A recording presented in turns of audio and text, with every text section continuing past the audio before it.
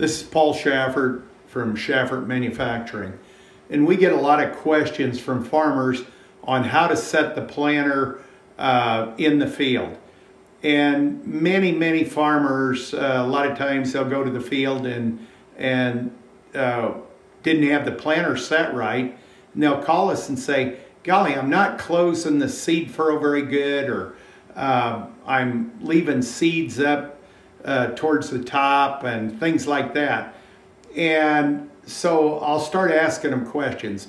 And I've just come to the conclusion that uh, I need to ask the guys, hey, take a picture and send me on my cell phone. And I'd like to look at your planter as it's setting in the ground or moving through the, you know, moving out in the field and then look at the hitch and things on the planter. So we're getting ready to talk about uh, planter leveling uh, processes. Here's a Kinze planter. And uh, the farmer called us up one day and he said, I'm still not closing my seed furrow very good uh, with my covering wheels on my planter. And what can be wrong? So I started talking to him and finally I said, well, take a picture of your planter in the ground and then picture of your hitch. What kind of hitch do you have? Do you have a two point or a drawbar hitch? Well, he had a drawbar hitch. So I said, take a picture of it and send it to me on, on my cell phone and I'll look at it and see what's going on.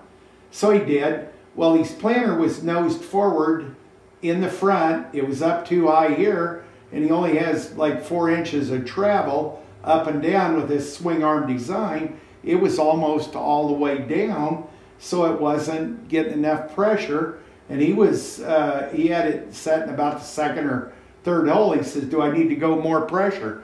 Well, if you're bottoming out, the pressure isn't going to do you any good. So I said, "Take a picture of your bar," and he did. And I said, "Can you lower your hitch?" And I looked at it and I shoot, he's clearing the bottom hole. I got to looking at it again.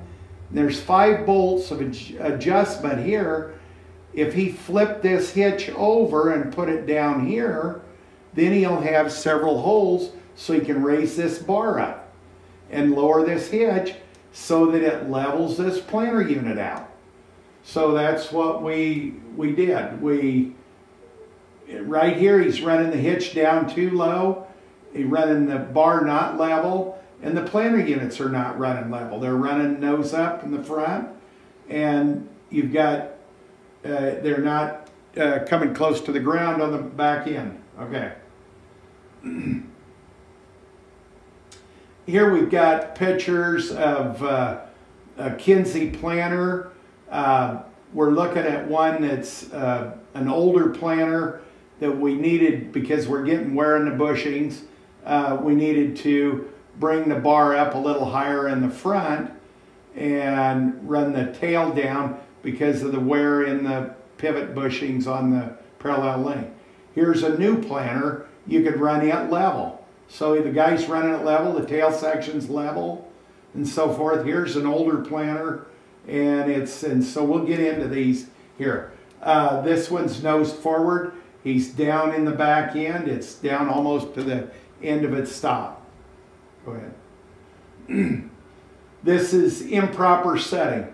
He's got it nosed forward. The hitch is down in the front he's down below. He's almost bottomed that thing out. So if he goes through a little dip and he's running five, six miles an hour out there, it's gonna, he's gonna not be closing the seed furrow very good. Okay. Improper setting on a new planter, or a proper setting, excuse me. Uh, the parallel linkage is straight out, so is the tail section. The bar is straight out. He's raised that hitch up got it up where it's going to do a good job of closing the seed furrow back here. And so he's still got a couple inches to go up and down. Uh, so if he goes through a dip or up, up and over a terrace, he can still pretty well close everything up. Here's an improper, uh, a proper setting on an older planter, excuse me. Um, we raised the hitch a little further and we maybe went up an inch or so further tilt this down a little bit here in the back end because we're getting wear in these bushings. 16th of an inch of wear in these bushings can cause two or three inches of up back here in the back end of the planter. So we're not, we're not running, uh, uh, we're gonna run level, more level if we tilted that bar up in the front and tilted this down back in the back end. Okay. okay, we're gonna talk about uh, and seats. When that unit is pushed down in the front, improper setting, look what that does to the seed tube kicks it back here. We're going to be shooting seeds out, and we're going to talk about that uh, where you get dry dirt and things down with the seed. But if you had that planter tilted back and dropping those seeds in, that gauge wheel isn't going to drop soil in with the seed. Loose soil. This is on a new planter. This is one that's tilted too far forward. You've got two to four inches of travel from center up and down, so it's bottomed out when it's tilted forward.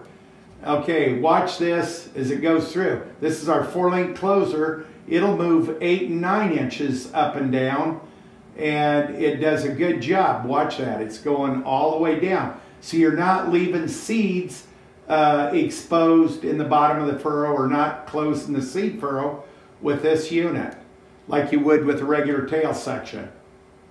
Okay, here's the row unit as it's tilted forward. Now watch this. The seeds are coming out as it's tilted too far forward. Uh, the seeds are coming out. If you have dry soil, loose soil coming in around the seed, you could have germination problems.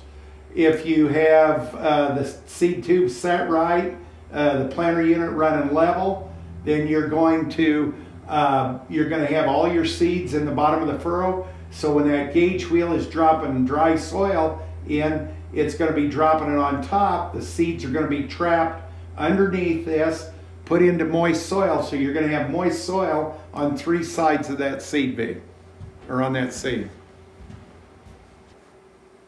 Here is improperly set John Deere planter. so guy calls up and he said, I'm not closing again like I should he's getting proper uh, cutting ability in this heavy residue out here with the coulter, but he's running tail up. Look at the tail section, how it's running downhill. And the bar needs to be raised up so he gets that more level back here. Look at the row unit. It's running nose forward or up in the back. Okay. this is so what we did, we raised his bar up one set of holes, moved it up two inches, it levels out the bar, and we move the hitch down and the bar up. Okay. Now he's running kind of uphill. He's running, and this is an older planter, an older MaxEmerge Plus running it downhill. Those tail section is running more level. He's still cutting good here with the double disc and the, the coulter out in front. And the row units are level, running level. Here's another planter. Um, this guy is running, everything is, he's got it pretty well set. So he moved it down a set of holes uh, he was having trouble closing the seed furrow. So he moved his hitch down and his bar up and moved it up one set of holes, two inches, and look what it did. It leveled everything out. This is running level back here, and it does a good job of closing the seed furrow. Four or five-year-old planter. Here's a Case IH planter. Uh, we're talking about a planter here. This is one we pulled off of the uh, website. It had gauge wheels out behind. Uh, I sent my son down to this farmer. He was having problems. Uh, his planter was nosing forward on the front end. He had a stacker bar planter like this one, but his gauge wheels were out back. And I said, well, can't you screw your third linkage back and get that planter tilted back like it should be? No, I'm out of adjustment here. I can't raise these wheels up anymore and I'm out of adjustment. I said, well, let's move the wheels up on the front side of the bar. So go ahead. Well, we moved him up on the front side of the bar, my son did, and one of my hired men, and immediately he could put his planter back, he leveled the row units out, and they went to planting, and he was closing the seed furrow, excellent. So by moving him forward, he could screw that third linkage back and get that planter tilted back the way it was, needed to be. Here's a white planter. This is an in-a-row uh, planter. Uh, he's planting beans, and he called up one day and he said, uh, I'm not closing the seed furrow. Well, he had put our uh, zipper closing wheels on the back section of planter units. He had uh, spiked closing wheels on the front row units, and he was closing those. And if you can look here, you can see every other row, the seed V is gaped open on every other row, and he's got a good stand coming up and nothing hardly coming up in these rows. And this is the back rows that's didn't close the furrow good. But you look at this, if you run a straight edge through, look at how this row unit is tilted up in the back. What's he need to do? He needs to raise his bar up here on the front, get this tilted down in the back end because he was running out of travel on his press wheel bracket back here. Look at this one, it was running more level. So I said, well, you, before he called me, or after he called me, I said, you take one of your set of spiked wheels off of the front planter units. He was complaining our uh, row unit or our uh, zipper closing wheels weren't closing the seed furrow properly. Well, I said, you take one of these off the spiked wheels and put them on the back, put our zippers or Mohawks up on the front, and I said, you see if they won't close. He planted a little bit, yeah, they're closing. And then that's when I had him take the pictures. And this is what we saw. So this was running more level. This was out of out of adjustment. He couldn't go down anymore on this, so it wasn't closing the seed furrow. And this is, was the result. As soon as he got that leveled out, he eliminated these open seed V's. Here's a drill. As you can see, the drill isn't running level. It's pitched down just a little bit in the front. He needs to, there's a cylinder inside this tube and from the cab of the tractor he can raise uh, this bar up which is really convenient. This is a nice feature on this drill. So he would level this row unit out back here so that it put more pressure and closed the seed furrow better. Your planter is your most important tool you have in the field. And if you don't get it set right and you don't plant those seeds right everything else can be for naught. You could fertilize no matter how well you fertilized, what kind of seed you bought, uh, what kind of combine you run, everything else. If you didn't plan it right, you're going to be, it's going to cost you a lot of money. Um, a lot of times farmers will, uh, they buy a new tractor. Maybe the tire size is different. So they may need to readjust the uh, planter uh, and just things like that. So every year you need to check, check these things so that you set your planter properly and get a good stand. Thank you.